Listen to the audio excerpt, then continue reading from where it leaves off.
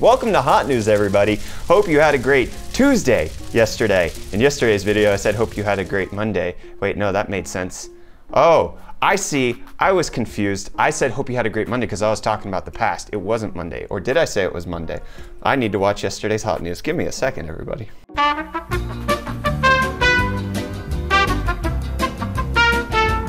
Yeah, I was right. I was talking in past tense. Since it was Tuesday, I hope you had a great Monday. I make sense. Sponsor spot, UFD deals. If you guys want to save money on computer parts around the entire internets, we got them all in one location. You only have to go to one website, ufd.deals. Check it out. We've got graphics cards, we've got monitors, we've got storage, everything on the homepage. Best deals. If you want to find specific deals, you click on the little tabs and there you go. You've got the best deal on an RX 590, which you wouldn't want to buy because the 1660 Ti makes a whole lot more sense. Anyways, if you want that, check it out at the link in the video description. UFD deals, affiliate codes, links. We make money, you save money, win-win. Now let's win with some PlayStation 5 news. Yeah. And when I say news, half of it's news, and the first half is a bunch of rumors and speculations and leaks. So let's talk about that. So apparently there was a forum post by an individual who was known to have leaked the exact specifications of the Wii U back in the day. I know, real high profile guy here, especially on the best console ever made.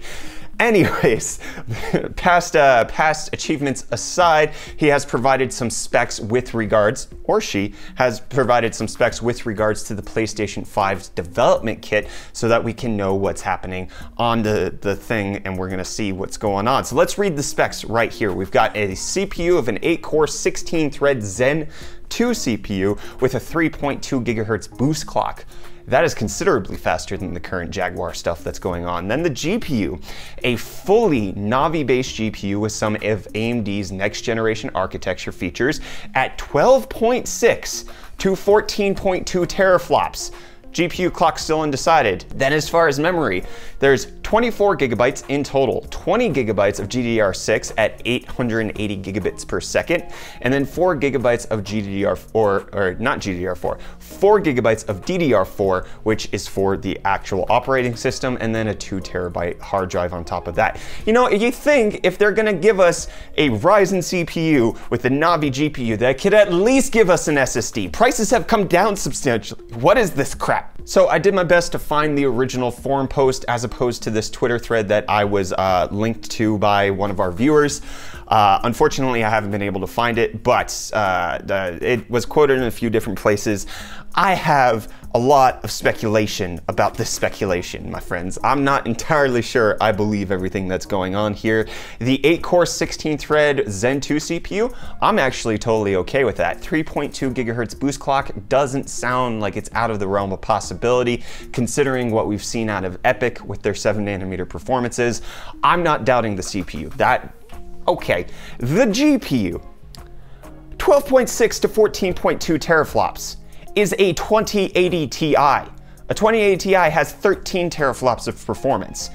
That's insane. That's not happening. That's like, I could believe that Navi would come out with a GPU that does that. I don't believe that we're getting it in a console that they're saying is going to be $499.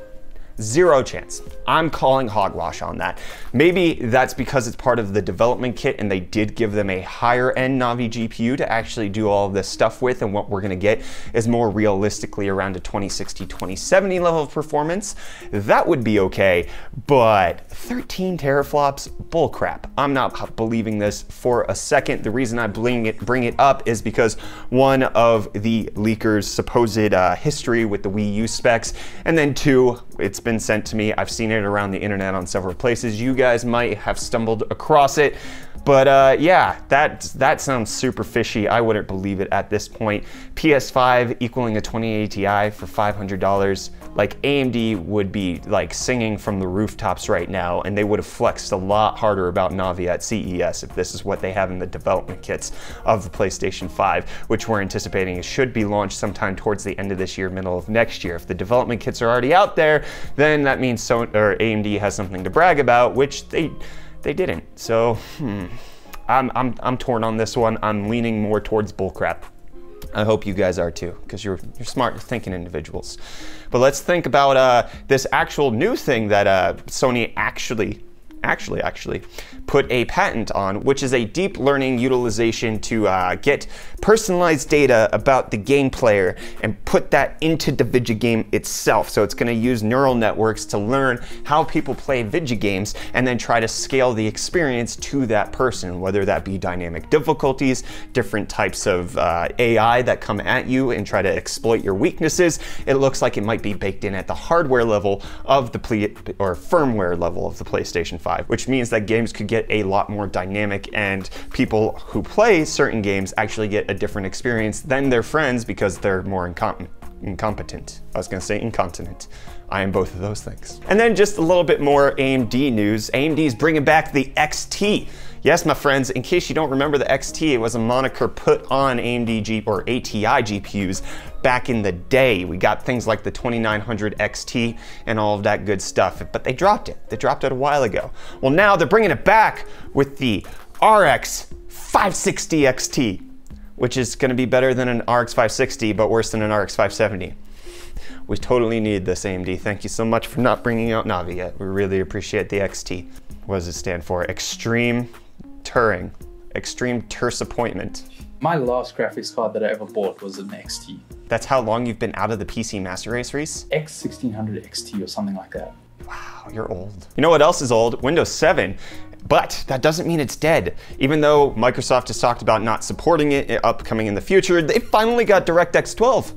It just got DirectX 12 in thanks to World of Warcraft and the patch that's coming out for that. Windows 7 now has DX12. So, my friends, if you're tired of the spyware, if you're tired of the force updates, go back to Windows 7 and you can play the latest games. It's not going to be a big deal. Yeah, yeah. Speaking of latest games that are actually old games, Halo, the Master Chief Collection is going to be available on PC.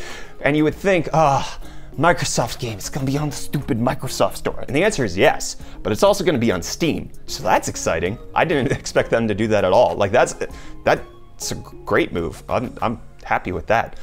I've never played Halo fully, so I don't care about the game, but uh, and I also don't care about a game Reese wants me to talk about, but I'm not gonna talk about it.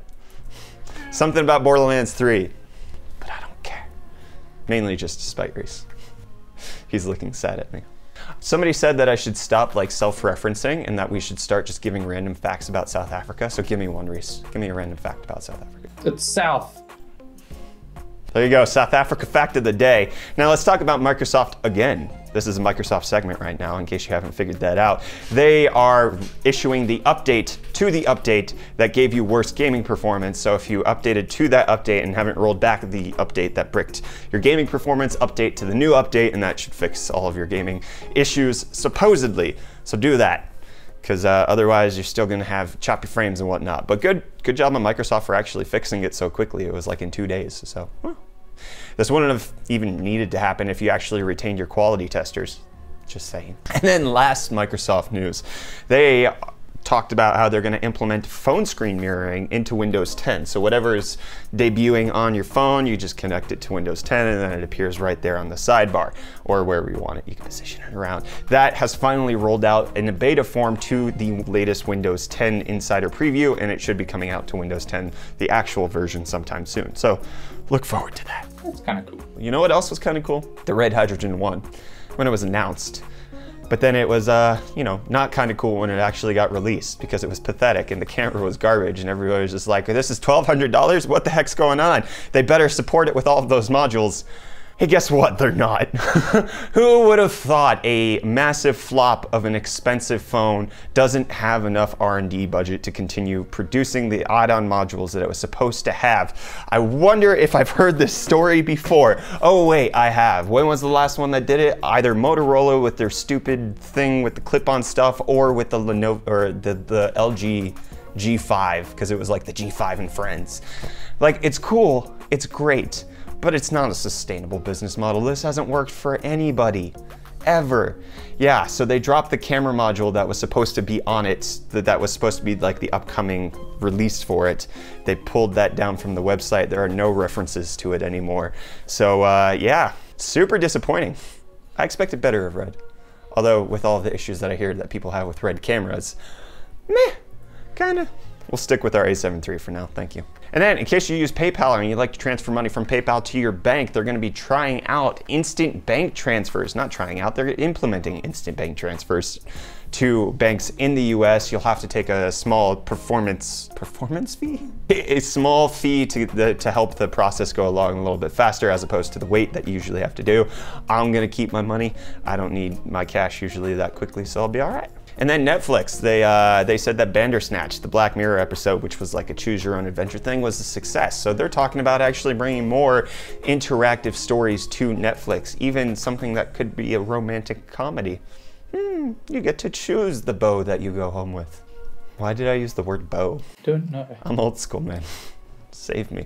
You know what's not old school? The Drone Racing League. It's coming to NBC and Twitter in August 11th. You're welcome. Is this the thing? I get that drone racing is the thing. Why does it have to be televised? And then Firefox, they just got end-to-end encrypted file sharing through the browser itself. You can send up to a gigabyte file, no questions asked, directly to somebody else who's also using Firefox. So that's pretty cool. Private file transfers, super encrypted through arguably what is still the people's web browser. And then it won't devour your 64 gigabytes of RAM, presumably. Toyota's going to space. That's all I need for that one. And then Uber, their self-driving car program has apparently been burning through $20 million a month. This is recently released as they're trying to prepare for their initial public offering of the stock. $20 million a month to get their self-driving fleet up and ready, and then it kills somebody. wow. Jeez, Uber, you gotta like to spend that cash flow, huh? I mean, obviously, I don't own something that could be equated to a billion dollar business, so I don't know how to spend cash like that, but uh, presumably one day I will. And you know what, one day I will too?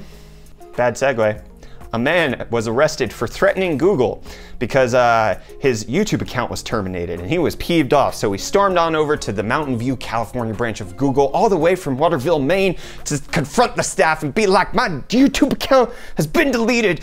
Gosh dang it, Google, why are you censoring me? And they were like, We didn't do that. Turns out his wife did.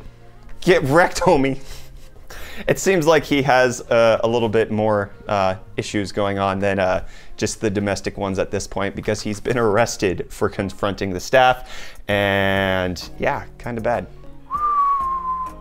Her reasoning for deleting his account and not telling him was uh, because she didn't want him losing his in front of my kids.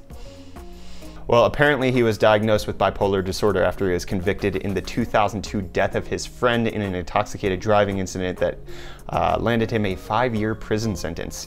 Wow. And then he was also involved in a slow speed police pursuit on an interstate. So, a lot of, a lot of difficulties there. I can sympathize with somebody who had who has bipolar because I grew up in a family where one of my family members had it. So I understand this was supposed to be the fun headline of the day. Turns out it got a little bit more serious. Anyways, I'm gonna end hot news there on the weirdest note possible.